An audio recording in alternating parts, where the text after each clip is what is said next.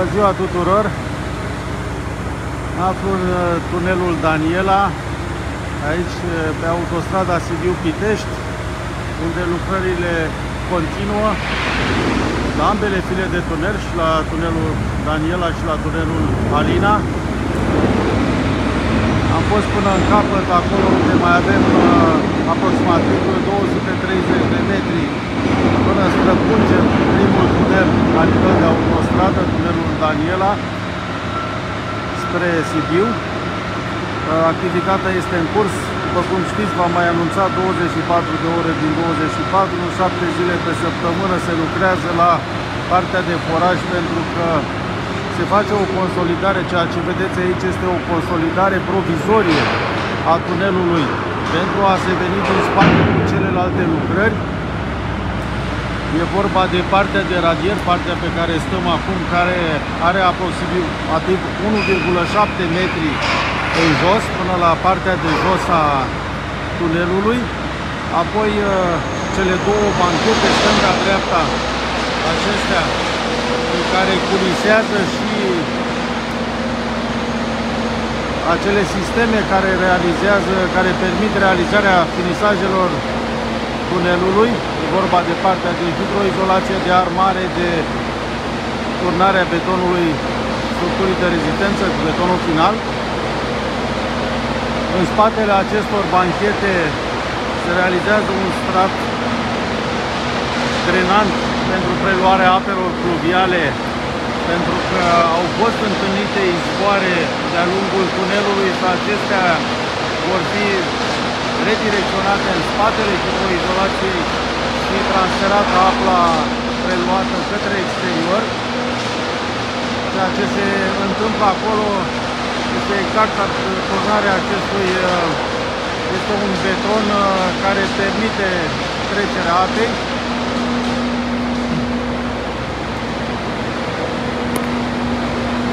Iar aici, pe această primă structură pe care o vedeți, structura roșie se realizează practic cea mai importantă operațiune care uh, se realizează la tunel din punct de vedere al protecției hidroizolația.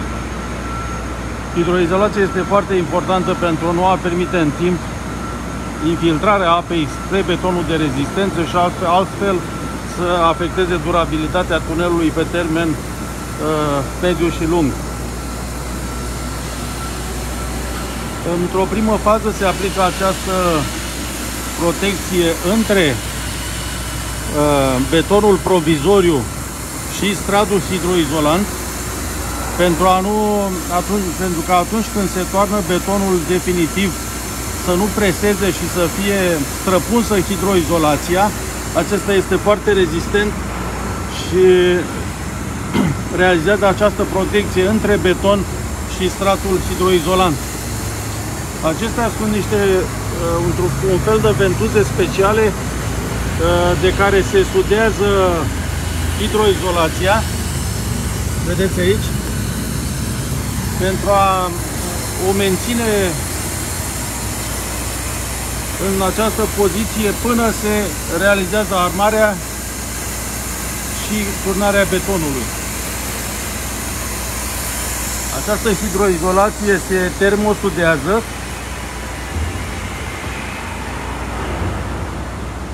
Sunt niște aparate speciale care termosudează fiecare strat în așa fel încât să se realizeze o impermeabilizare perfectă.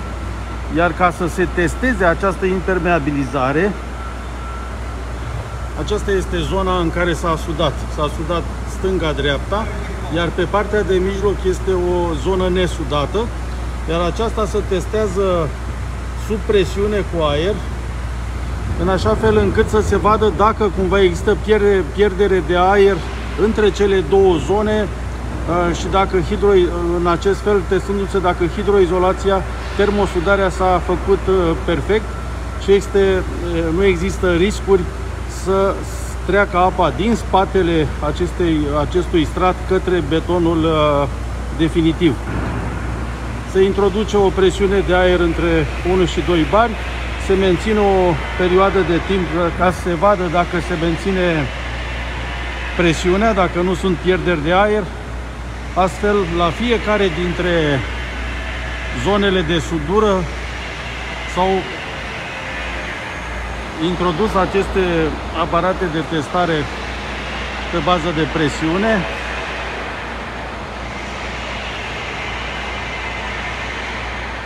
Vă spuneam, este foarte important ca această izolație, hidroizolație să fie aplicată perfect pentru a nu permite trecerea apei către betonul de rezistență.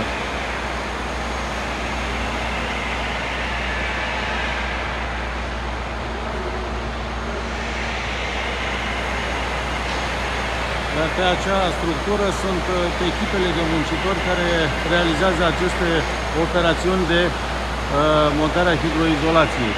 Mai departe, există o altă structură mai uh, uh, scurtă puțin care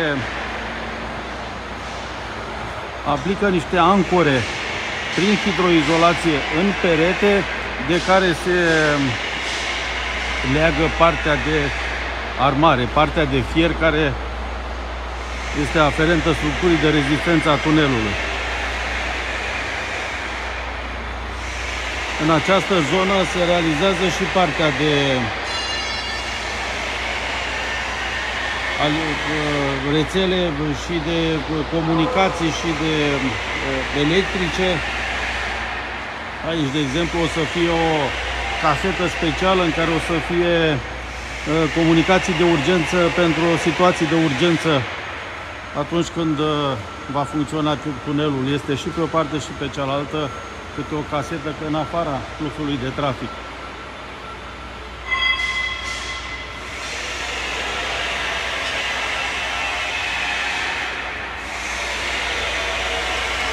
Vă spuneam că aici uh, este zona în care se aplică niște ancore care se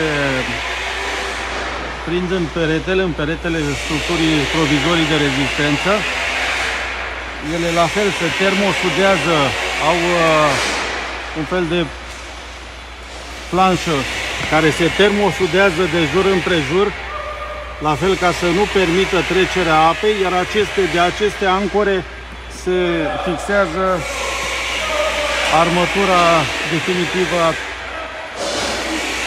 structurii de rezistență. Vedeți, de peste tot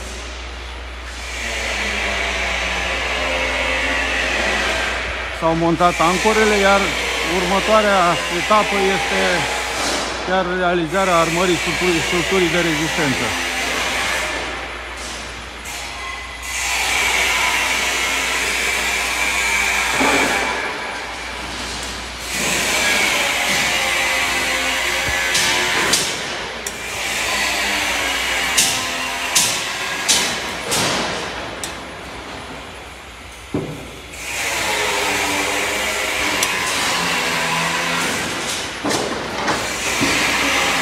Se aplică prima, prima uh, plasă din partea dinspre hidroizolație.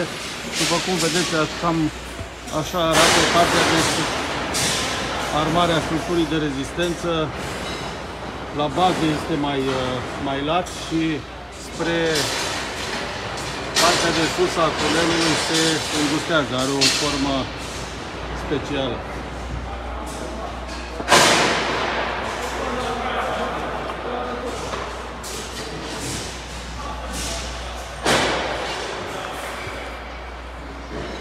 Se pun niște distanțieri speciali făcuți din beton care să permită o grosime a peretelui până la a peretelui de beton până la partea de armare.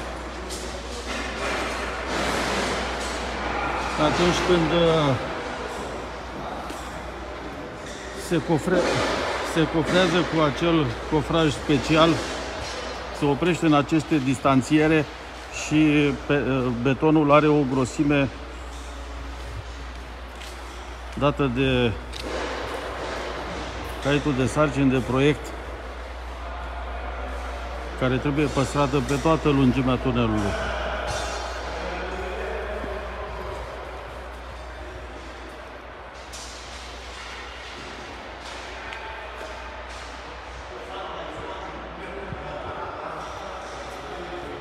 Și acum mergem spre zona în care au fost mai multe tronsoane de tunel la care s-a finalizat practic această parte de armare. Aici este din nou o casetă specială pentru situații de urgență. Deci se montează și hidranți și telecomunicații speciale. Că nu, de multe ori nu este semnal în tunel și atunci sunt uh, comunicații speciale care să permită comunicarea cu exteriorul.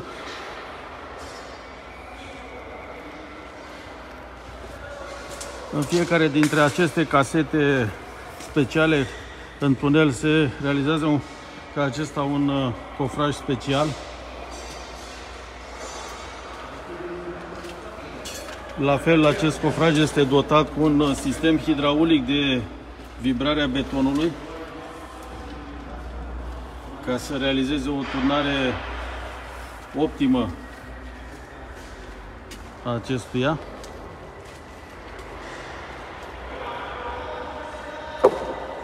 Și acum ajungem în zona în care a fost deja turnat betonul.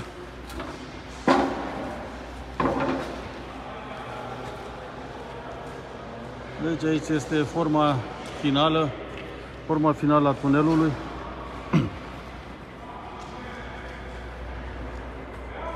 Acolo, după cum se vede, partea de armare și aici deja betonul turnat, betonul final al structurii de rezistență. Bineînțeles că asta, acest beton uh, va veni uh, protejat cu un strat de vopsea anticorozivă.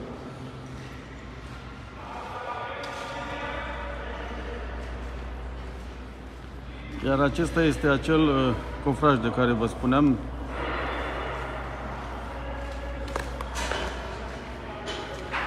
Un cofraj hidraulic care se deplasează pe banchetă stânga-dreapta, pe această șină, la fel ca și celelalte structuri.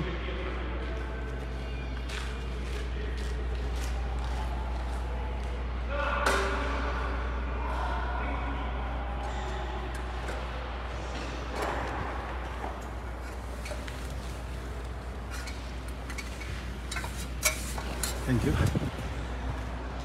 Sunt cu un uh, inginer din uh, Germania.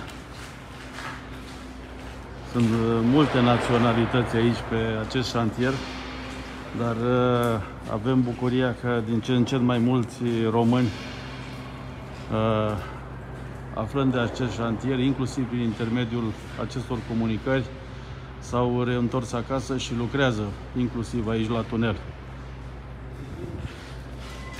Cunosc un domn din uh, Maramureș, care a revenit și lucrează aici pe acest șantier după 27 de ani plecați în uh, străinătate. Și mi-a spus că dacă vom continua acest tip de lucrări, nu mai pleacă, rămâne să lucreze aici acasă. Aici, vă spuneam, este ultimul un, uh, un tronson de front, e frontul tunelului, s-a cofrat uh, ieri și astăzi și la noapte este pregătită această instalație cu, pentru turnarea betonului. Cum spuneam, tot sistemul este hidraulic, automatizat. Să vă arăt uh, Acolo se vede partea de armare în spatele cofrajului. Sunt niște ferestre speciale, că pentru că atunci când se toarnă betonul și ajunge la limită, să închidă aceste ferestre și se merge mai departe.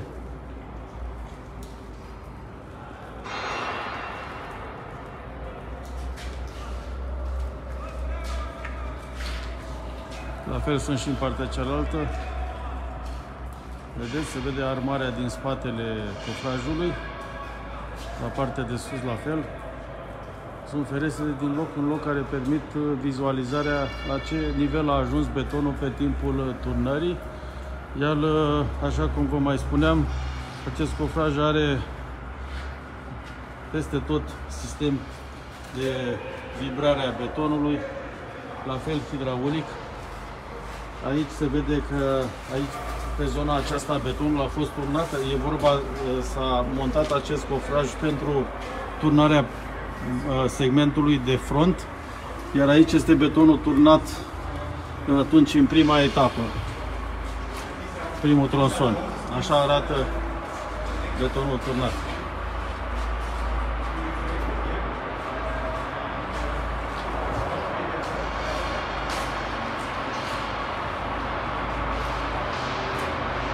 Suntem înaintea graficului contractat cu tot tronsonul de aici de la Curtea de Argeș la Ticveni.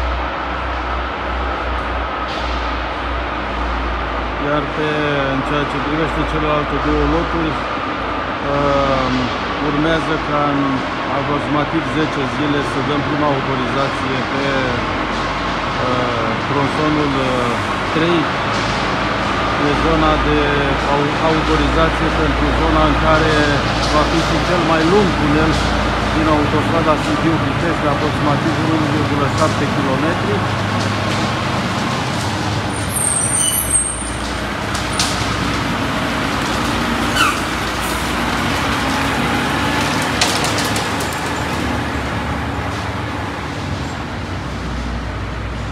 Eu urez și eu uh, la mulți ani tuturor care sărbătoresc onomastica astăzi.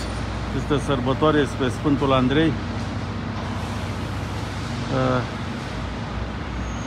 să finalizăm această lucrare, inclusiv uh, celelalte tronsoane Sibiu Pitești, cât se poate de repede și românii să circule prin prima autostradă care va traversa Carpații și prin primul tunel la nivel de autostradă din România. Doamne ajută și sărbătoare frumoasă astăzi și un weekend fain.